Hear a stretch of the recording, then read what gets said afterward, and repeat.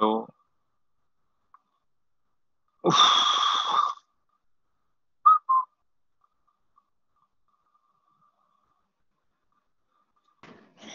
Yes sir हाँ अब आई आवाज़। ठीक है।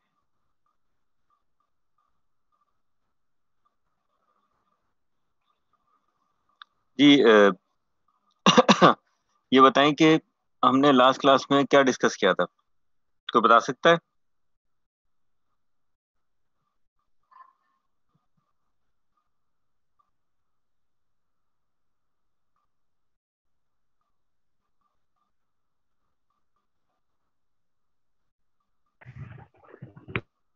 हेलो। हेलो। जी लास्ट क्लास में हमने क्या डिस्कस किया था कोई बता सकता है?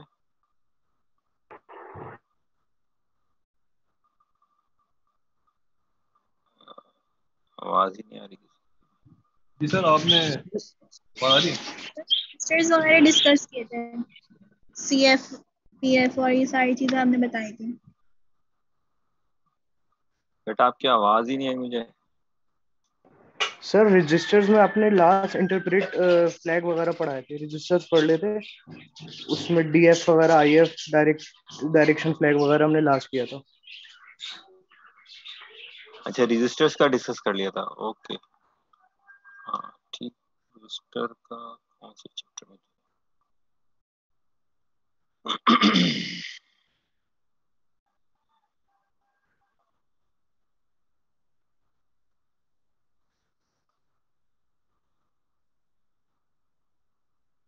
वो चैप्टर कौन सा था? कुछ याद है? चैप्टर टू था थ्री था। थ्री था शायद। सर फोर था। थ्री आपने स्किप कराया था कि बाद में करेंगे। बस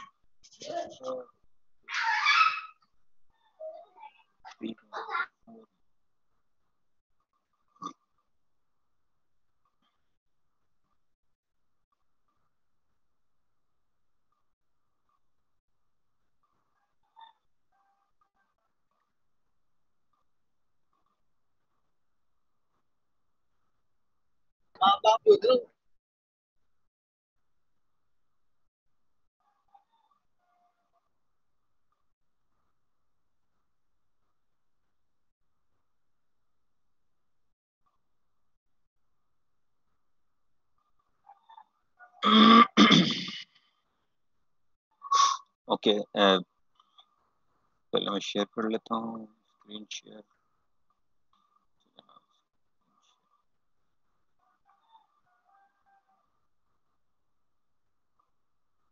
बेटा ये अपना, क्या नाम है इसका, अरीशा? बेटा ये इसको स्क्रीन शेयरिंग का वो करें इनेबल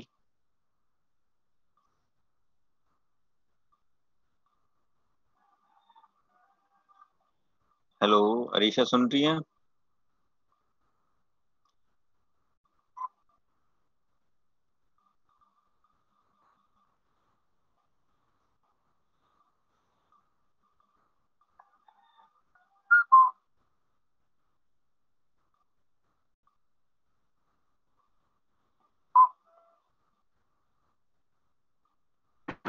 सर अब आप कह रहे करें अब हो जाएगा।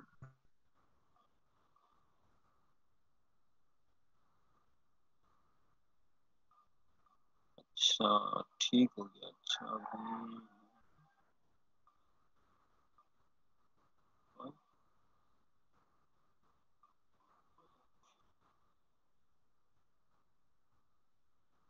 नज़र आ रहा है सबको?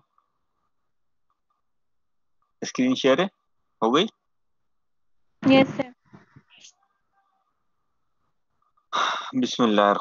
अस्सलाम वालेकुम बेटा, कोई रिकॉर्ड कर ले इसको। रिकॉर्ड कर लें इसकी रिकॉर्डिंग शुरू करेंगे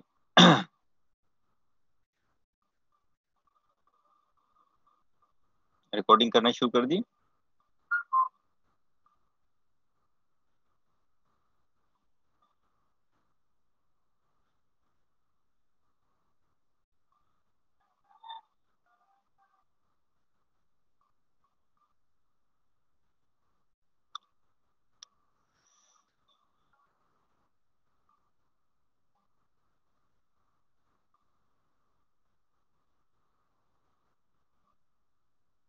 Okay unit number five unit number four हमारा कंप्लीट हो गया था।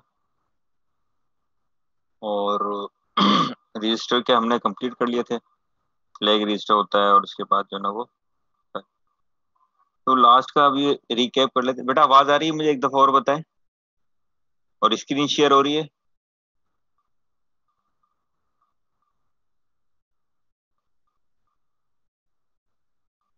हेलो। मुझे एक दफ़ा और बता दें कि स्क्रीन शेयर हो रही है नज़र आ रही है सबको और आवाज़ आ रही है मेरी। यस सर आ रही है। ठीक है। Okay unit number five main objective ये कि हम एट ज़ीरो एट एट का जो है वो पिन कॉन्फ़िगरेशंस को हम पढ़ लें उसको समझ लें अंडरस्टैंड कर लें। ठीक है। एट ज़ीरो एट एट की पिन असाइनमेंट्स क्या है? पिन कॉन्फ़िगरेशंस क्या है? आज का ऑब्जेक्टिव ये है कि हम total number of pins eight zero eight की जो है, उसको अंडरस्टैंड करें, उसके फ़ंक्शंस को समझें, उसमें कौन कौन से सिग्नल्स आते हैं और जाते हैं वहाँ से, वो मेन काम हम अच्छे तरीके समझ लें। क्यों? क्योंकि अगर अगर हमें इस आईसी का डिटेल फ़ंक्शंस पता चलेगा पिंस का तो बाकी हम कोई से भी प्रोसेसर का समझना आसान हो जाएगा ठीक है? ये माइक्रोप्रोसेसर का पिन लेआउट कहलाता है ये। इसका स्टार्टिंग पॉइंट ये होता है कि ये यहाँ से जो ना एक एरो बना होता है, एक सी बना होता है, देखिए हाफ़ क्या नज़र आ रहा है इसका ये? ये स्टार्टिंग आईसी की स्टार्टिंग पॉइंट है। और ये टोटल 40 नंबर 40 पिंस की एक आईसी है जिसको बोलते हैं 8086 माइक्रो प्रोसेसर यूनिट, ठीक है? इस यूनिट को 40 पिंस में से कुछ पिंस ऐसी हैं जो कि मुख्तलिफ़ कामों में इस्तेमाल हो रही थी, कोई मुख्तलिफ़ कामों में इस्तेमाल हो रही थी। और ये सारी पिंस को डिवाइड कर देते हैं फोर्टी नाइन ग्रुप्स के अंदर। टोटल ये नाइन ग्रुप्स पिंस की कॉन्फ़िगरेशन है।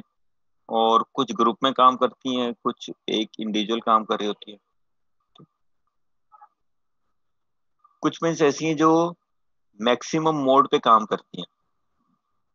कुछ पिंस ऐसी हैं जो सिर्फ़ मिनिमम मोड पे काम करती हैं। मिनिमम मोड क्या होता है? मिनिमम मोड ये होता है कि उसको मेमोरी और आईओ से जो एक्सेसिबिलिटी चाहिए वो पूरा का पूरा कंट्रोल होता है उसका।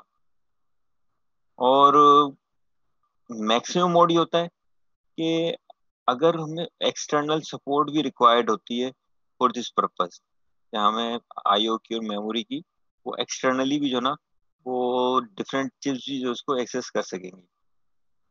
तो कुछ जो है वो, ये जो पिंस नज़र आ रही हैं कि ये जो मेरी जहाँ एरो नज़र आ रहा होगा ये जो है वो हाई उस पर काम करती हैं, यानी कि मैक्सिमम मोड पे काम करती हैं ये पिन और मिनिमम मोड पे ये सारी की सारी काम कर रही होती है। एक तो ये फ़र्क है।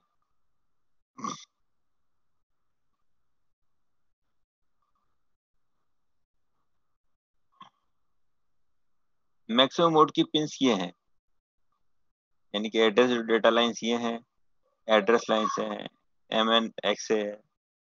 रीड की है, टेस्ट रेडी से रिसेट है नॉन मास्केबल है इंटरप्ट की क्लॉक विच ग्राउंड की, ये सारी की सारी मैक्सिमम मोड पे काम करती हैं सारी की सारी ये मिनिमम मोड पे काम करती हैं। यानी कि ये पिन मिनिमम मोड पे होल्ड है होल्ड इक्नॉलेज है राइट है आईओ मेमोरी कंट्रोल है डीटीआर है डेटा ट्रांसफ़र रेट है डेटा इनेबल है स्टेटस लाइन है, और एड्रेस लेचेस इनेबल है, और इंटरप्ट इक्नॉलेजमेंट है। ये सारी की सारी जो है वो मिनिमम मोड पे काम कर रही होती है ठीक है? सर? जी।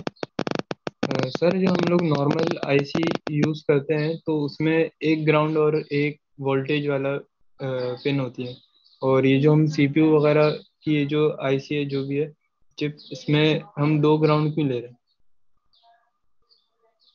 बेटा इसलिए ले रहे थे कि ये हमारे पास ऑपरेशनल रहे हमारी है ना?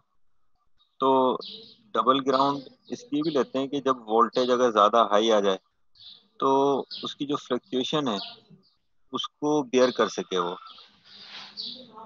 डिवाइड कर देता है ये इसलिए डबल लेयर यूनिक अच्छा अब add to एटेड bus controller maximum mode पे 8088 की जो आईसी होती है वो काम करती है विद द हेल्प ऑफ़ 8288 यानी वो बस कंट्रोलर है। यानी कि अब हम ये कह सकते हैं कि इस बात को यूँ समझ लें कि जब मैक्सिमम मोड पर होगा तो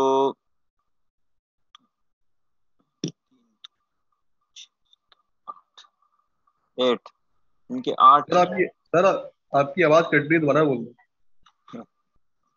अब देखें मैं कह रहा था कि जब मैक्सिमम मोड पे आईसी काम करने लगेगी तो उस वक्त एक एक और आईसी के साथ मिलके काम करती है और उस आईसी का नाम है बस कंट्रोलर आईसी और उसका नंबर है एट टू एट एट जब ये बस कंट्रोल के साथ काम करती है तो इसी तरह की जो है ना वो इन्फॉर्मेशन उसके साथ आएगी हो जाएगी। जैसे ये नीचे जो है वो आप देखें तो ये वो IC eight two eight eight की सिग्नल्स हैं जो एट ज़ीरो एट एट के साथ मिलके काम करते हैं, जैसे M R D C memory read command M W T C memory write command A M W C advance memory write command I O R C input output read command I O write command और advance I O write command interrupt acknowledgement command तो ये वो signal हैं जो generate होते हैं और control होते हैं बस कंट्रोलर के साथ। और बस कंट्रोलर की आईसी है? एट टू एट एट की।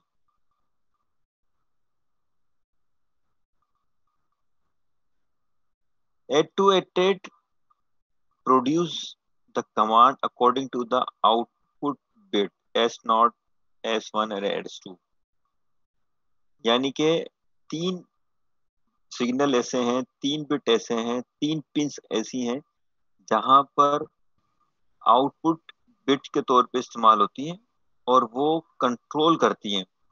कमांड्स को भेजेंगे और वो उसी हिसाब से आईओ पोर्ट को या आईओ को रीड के फ़ंक्शंस को जो है ना परफॉर्म करेंगे। जैसे तीन बिट है ना, ज़ीरो ज़ीरो तो अगर वो तीन बिट में अगर ये एस नॉट ज़ीरो हो जाए एस वन ज़ीरो हो जाए एस टू ज़ीरो हो जाए तो इसका मतलब है कि इंटरप इक्नोलेज जो इंटरप की है प्रोसेसर को, वो उसको रिप्लाई करेगा।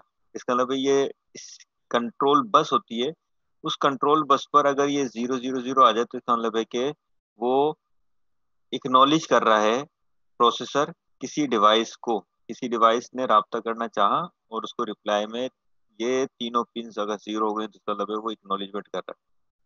अगर वन ज़ीरो ज़ीरो हो गई तो इसका मतलब है कि ये सिग्नल जाएगा सीधा कहाँ पर? आयो के पास। और ये बताएगा कि भाई ये प्रोसेसर अब रीड करना चाहता है। आप की पोर्ट पे जो भी कुछ है, उसको रीड करना चाहता है। और अगर आगे, लिखा हुआ ज़ीरो वन वन तो इसका मतलब है कि वो जाएगा फौरी तौर पे डिवाइस के पास आयो डिवाइस के पास वो बताएगा कि ये राइट करना है। ठीक है? तो इस तरह से ये एट पॉसिबल ऑपरेशन हैं। अगर वन वन ज़ीरो हुआ मतलब हॉल्ट है ज़ीरो ज़ीरो वन हुआ सेकेंड फेच है वन ज़ीरो वन हुआ तो रीड मेमोरी है राइट मेमोरी है। पैसिव का मतलब ट्रिपल वन हुआ तो इसका मतलब है कि कुछ भी नहीं नथिंग कुछ भी नहीं करेगा, ठीक है? उसके पास कोई चीज़ है ही नहीं। तो eight eight two eight eight की कमांड्स जो है वो बराबर में देखेंगे कि रीड के लिए जो है M D R M R D C memory read कर लो। राइट के लिए एम डब्ल्यू टी सी ठीक है? तो ये कमांड्स भी दी हुई हैं eight two eight eight two eight eight की कमांड्स भी मौजूद ये टोटल नंबर ऑफ़ पिंस है, आठ pin the group of pins divided into three three categories no nine categories थी नाइन कैटेगरीज वो नाइन कैटेगरीज कौन सी है? पहली पावर सप्लाई की एंड क्लॉक पावर सप्लाई के लिए इस्तेमाल होती है तीन वीसीसी ग्राउंड और ground one and ground two and clock के लिए इस्तेमाल होती है सीएल के। बीसीसी में हमेशा फाइव वोट्स पे आता है।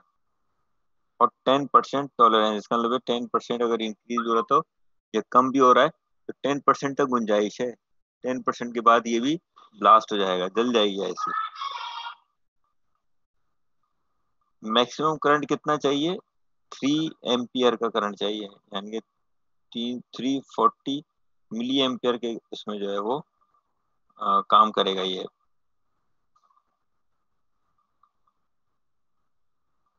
क्लॉक पिंस क्या करती है? वो रेक्टेंगुलर वेव फॉर्म्स के अंदर जो है ना वो वेव जनरेट करती रहती है। और वो कितनी होनी चाहिए? टू से फाइव मेगा हर्ट्स के दरमियान में क्लॉक जनरेट होती है। रिपीट कर रहा हूँ टू से फाइव हर्ट्स के दरमियान में मेगा हर्ट्स के दरमियान में जो है ना, वो ये आईसी क्लॉक जनरेट करते रहिए वेव जनरेट करते रहिए इससे कम पर जो है, वो काम नहीं करेगा। फ्रिक्वेंसी मानी नहीं जाएगी इसकी बिना पर वो या तो ट्रांजिशन कर रहा होगा, या रिसीव कर रहा होगा, या जो भी एक्टिविटी एक्शन होंगे, परफॉर्म करेगा, इस रेंज की अगर पल्स होगी तो। ये पहली कैटेगरी है, यानी कि हमारे पास one, two, three, four. Four pins हमने समझ लिए यहाँ पर, ठीक है? फोर पिंस कहाँ पर, अगर शुरू में देखें तो ये फोर पिंस। वीसीसी है ग्राउंड है और ये ग्राउंड है। उसके बाद 19 पिन नंबर 19 ये क्लॉक तो पहली कैटेगरी तो हमने पढ़ ली। दूसरी कैटेगरी क्या है? Minimum maximum mode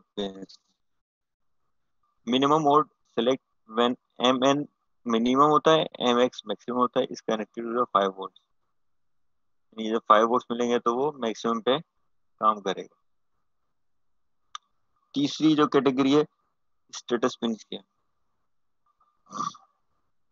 status pin जो है ना, वो तीन होते हैं, जो भी हमने भी थोड़ी देर पहले किए थे। Zero zero one one zero zero zero one one zero one zero इसी तरह से वो एट पॉसिबिलिटी जो हमने डिस्कस की थी, वो क्या है? ये स्टेटस पिन कहलाती हैं। और ये पिन कौन सी, कहाँ लगी होती है ये पिन ये पिन लगी होती है एस नॉट और एस ये अगर देखें तो यहाँ आपको नज़र आ जाएँगे। पिन नंबर किस पे नज़र आएँगी? थर्टी फोर पे नज़र आएगी।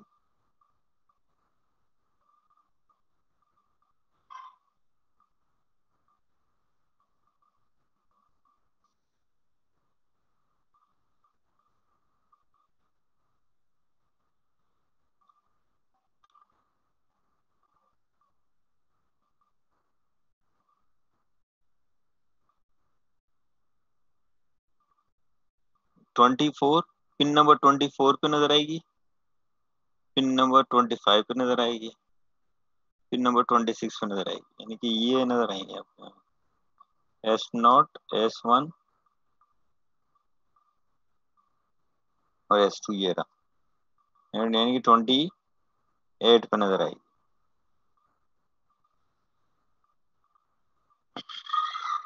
उसके बाद है, दूसरी कैटेगरी हो गई, तीसरी हो गई। यही वो चौथी कैटेगरी। चौथी कैटेगरी ये है कि बस मास्टर। बस का कंट्रोल जो ना, वो बस मास्टर कहलाता है। ये फाइव पिंस पर मुश्तमिल होता है ये। फाइव पिंस मिलकर क्या काम करती हैं? वो काम ये करती हैं कि अगर मिनिमम मोड है तो होल्ड करवा देती और इसको रिप्लाई कर देती है होल्ड एक्नॉलेजमेंट मैक्सिमम मोड में जो है वो, यानी कि मिनिमम मोड पे ये दोनों काम करेंगे होल्ड और होल्ड इक्नॉलेज और मैक्सिमम मोड पे जो है वो R G G T zero R R Q G T one से लेकर टॉप तक।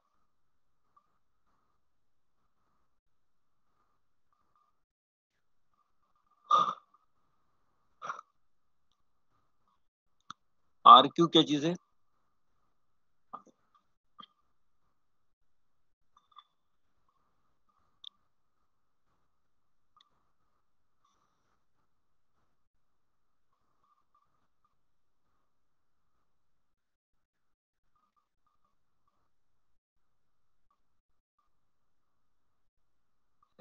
आर जी लिखा ना? रिक्वेस्ट है और बस ग्रांट है। जीटी मतलब ग्रांट है। आर क्यू का मतलब रिक्वेस्ट है। बस की रिक्वेस्ट कर रहा है और बस की रिक्वेस्ट हो रही है, बस की, बस को ग्रांट कर रहा है, यानी कि इजाज़त दे रहा है कि आप ये बस इस्तेमाल कर सकते हैं। पहले इजाज़त मांग रहे हैं तो बस रिक्वेस्ट होगा बी आर और सॉरी आर की होगा। और अगर रिक्वेस्ट एक्सेप्ट होती है तो एक्नॉलेजमेंट आएगा। उसको कहेंगे कि बस ग्रांट हो गई है। ये ज़ीरो है और वन। एक है लॉक। लॉक का मतलब है lock is an output pin in maximum mode and inform other devices that they can not take over the local bus. Lock कर दिया कि ये एक असाइनमेंट मिला हुआ ये काम कर रहा है। दूसरे को किसी को इजाज़त ना दे। तो ये कब होगा? ये किस सूरत में होगा? जब मैक्सिमम मोड पे काम करेगा ये। ठीक है ना? तो मैक्सिमम मोड पे लॉक लगा दिया, इसका मतलब अभी किसी और को आज़ाद नहीं देगा। तो इस तरह से चौथी चौथी कैटेगरी के अंदर हमारे पास जो पिंस हैं, वो पाँच पिंस होती हैं फाइव पिंस होती हैं। एक होल्ड की होती है होल्ड इक्नोलॉजमेंट की होती है। उसके बाद जो है वो रिक्वेस्ट की और ग्रांट की है। बस रिक्वेस्ट करता है, बस को ग्रांट मिल जाती है, बस को ग्रांट कर ले इजाज़त मिल गई। बस यूज़ करने की। इसको इस तरह समझे। अच्छा उसके बाद है लब न करे।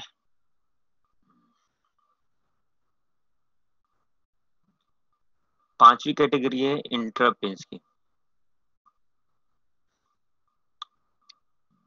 इंटरपिंस कौन सी होती है?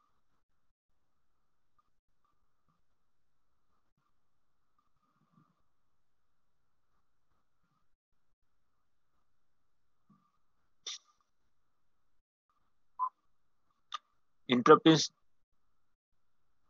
तीन होती है तीन पिंस का एक ग्रुप होता है एक होता है एनएमआई एक होता है आई एन टी आर एक होता है I N T A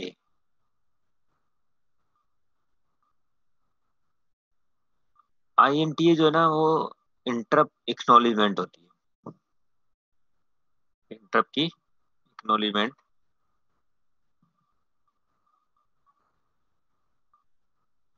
और इंटरप आर का मतलब होता है इंटरप इनेबल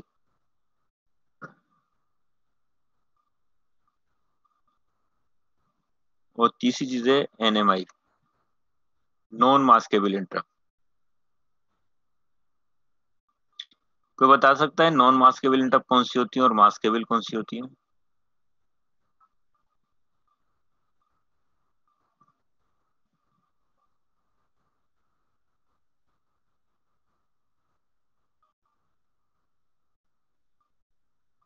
नॉन मास्केबल इंटरप ऐसी होती है इंटरप के, अगर इंटरप आ जाए तो उसको डिसेबल नहीं कर सकते। लाजमी उसको परफॉर्म करना ही करना है। जैसे मिसाल के तौर पर, अगर एक प्रोग्राम रन हो रहा था और आप चाहते हो कि यार इसको रोकें तो आप क्या करते हैं कि वो कैसे रोकें इसको स्टॉप करने के लिए? तो आप क्या करते हैं टास्क मैनेजर में जाते हैं। तो टास्क मैनेजर में कैसे जाते हैं? जब कंट्रोल ऑल्टर डिलीट दबा देते हैं। तो कंट्रोल ऑल्टर डिलीट दबाने से होगा क्या कि वो उस टास्क मैनेजर के पे चले जाएगा, जहाँ पर आप कंट्रोल कर सकते हैं मुख्तलिफ़ प्रोसेस को फोर्सफुली रोक भी सकते हैं या चला सकते हैं। तो इसको कहते हैं नॉन मास्केबल इंटरप्ट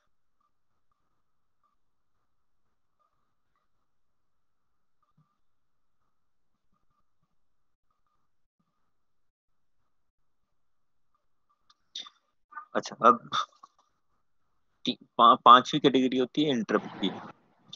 ठीक है? ये हो गया।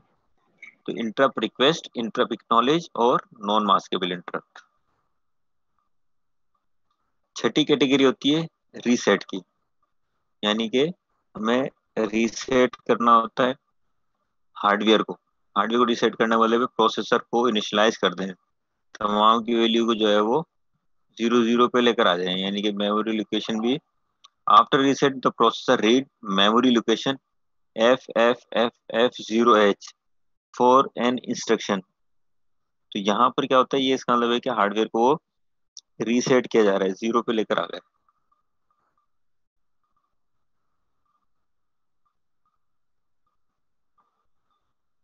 उसके बाद है बस कंट्रोल पिन सातवीं कैटेगरी ये ये काम क्या करती है? ये काम करती है कि अगर जो पिंस मौजूद है वहाँ पर तो उनको बताती है किस काम के लिए काम काम करना है। तो बस कंट्रोल पिंस का मतलब आर डी का मतलब है कि रेडी कर दो। किस चीज़ के लिए रेडी कर दो? जिस काम के लिए भी करना है उसको रेडी कर दे। रीड करना है तो रेडी कर दो राइट करना है तो रेडी कर दो। उसको एक्सेस करना है किसी भी डिवाइस को तो रेडी कर दो। तो आर डी की जो कमांड है या आर डी की है, वो रीड के लिए और रेडी की जो कमांड है, वो डिवाइस को चेक करके और उसको रेडी करने के लिए। तो रीड जो है वो input to tell the process that the selected memory और IO port is ready to complete a read और राइट ऑपरेशन तो रेडी का सिग्नल इनपुट सिग्नल होता है और वो प्रोसेसर को बताता है कि भाई ये काम करने के लिए तैयार है फॉर दिस पर्पस यानी कि रीड ऑपरेशन करना है राइट ऑपरेशन करना है। बस कंट्रोल का a group of seven pins तो एक तो रीड रेडी हो गई, दूसरा आरडी आरडी का मतलब होता है रीड करना। तो रेडी किस पर्पस के लिए? रीड करने के लिए। आउटपुट पिंस है। एल जो होता है एड्रेस लेचेज इनेबल ये क्या करता है? ये करता है कि कुछ पिंस ऐसी हैं जो कि मल्टीप्लेक्स हैं, यानी कि उसमें डबल काम होता है। तो डबल काम करने के लिए जो है वो क्या करता है? कि एक वक्त में एक ही काम होगा। ऑल्टरनेट ना? तो पॉजिटिव एज में जो है वो एक काम हो रहा होगा नेगेटिव एज में दूसरा काम होगा। तो एड्रेस लेचेज इनेबल ये करता है कि मल्टीप्लेक्स कर देता है एड्रेस और डेटा को। कब एड्रेस आएगा यहाँ से कब डेटा आएगा। D N data enable data enable भी जो है आउटपुट पिन है। ये क्या करेगा? डेटा जब प्रोसेसर में आएगा और रेडी हो जाएगा तो डी एन की जो ना, वो इनेबल हो जाएगा। इसका मतलब है कि इस इंस्ट्रक्शन का रिलेटेड डेटा आ गया। डेटा रजिस्टर में वैल्यूज़ को पहुँचना, पहुंचाना, उस वक्त ये इनेबल हो जाएगा एक्टिव हो जाएगा कि जी, ये डेटा आ गया है। तो डी एन होता है, एक होता है D T R slash R D T R का मतलब होता है data transmit and receive data transmission rate भी कहलाता है या डाटा ट्रांसमिशन रिसीव ठीक है? ये अगर आर पे हाई हो गया, इसका मतलब ट्रांसमिट हो रहा है। और आर जो है वो ज़ीरो हो गया, इसका मतलब कि डेटा रिसीव हो रहा है। तो इस तरह से ये कॉमन सिग्नल है।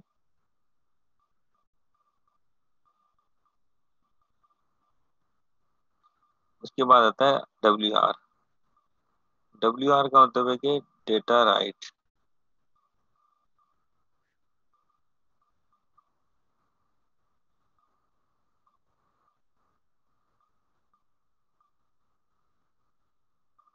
राइट के बाद आता है आईओएम आईओएम जो है, ये भी मल्टीप्लेक्स यानी कि अगर मेमोरी से रीड करना है तो एम को ज़ीरो कर देंगे।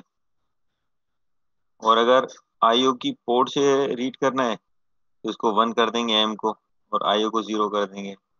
इस तरह से ये होगा कि मेमोरी और आईओ को एक साथ रीड किया जा सकता है।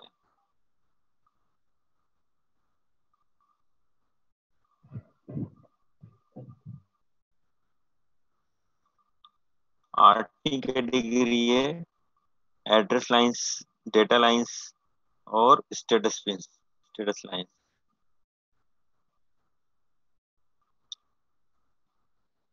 A D naught से लेकर ए डी सेवन तक, यानी कि कितनी पिंस हो गई? नाइन पिन हो गई। नहीं एट पिंस हो गई ये एट पिंस जो है, ये कॉमन है किस लिए ये एड्रेस के लिए अलहदा है, डेटा के लिए अलहदा है। एड्रेस लाइंस और डेटा लाइंस। ए एट से लेकर ए फिफ्टीन तक ये प्योर एड्रेस लाइंस है। इसमें कोई दूसरी चीज़, दूसरे सिग्नल नहीं आएँगे। फिर ए सिक्सटीन से लेकर ए नाइनटीन, इसमें फिर कॉमन चीज़ आ गई। क्या चीज़ कॉमन आ गई? स्टेटस बताती है ये स्टेटस पिंस कहलाती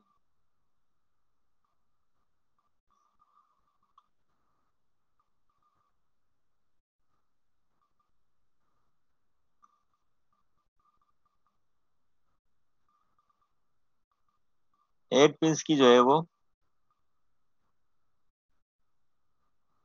पिन कॉन्फ़िगरेशन जो स्टेटस बताती है। यानी कि एस थ्री और एस फोर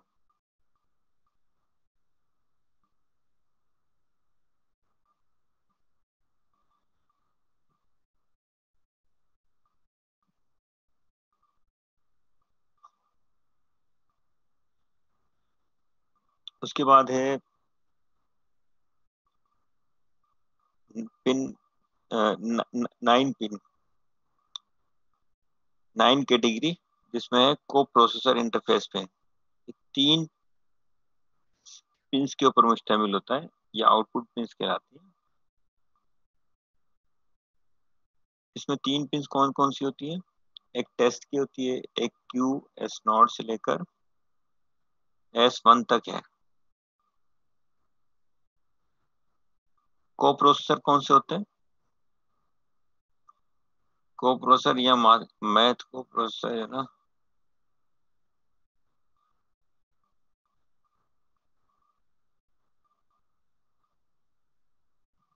को प्रोसेसर का काम ही होता है कि एडवांस लेवल की मैथमेटिक कैलकुलेशन परफॉर्म करेगा।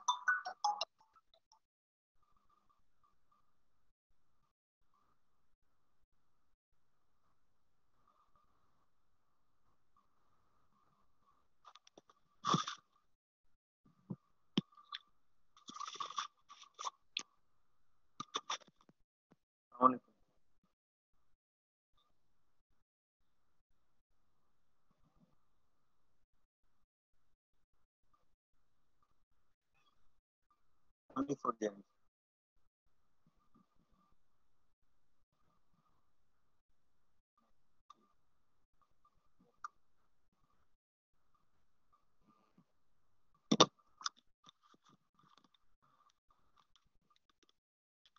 अच्छा हाँ मैथ को प्रोसेसर का काम ये होता है कि एडवांस लेवल की मैथमेटिक कैलकुलेशन परफॉर्म करता है और उसमें तीन पिन हैं, एक टेस्ट पिन होती है जो कि पहले टेस्ट कराते हैं माइक्रोसर से आती है।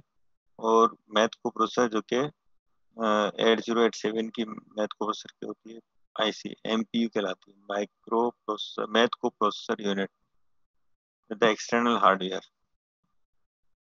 तो या अर्थमेटिक लॉजिकल ऑपरेशन है, लेकिन ये फोर्टी पिंस का होता है ये। वो वो सिक्सटीन बिट का होता है और ये फोर्टी पिंस या फोर्टी बिट्स का होता है।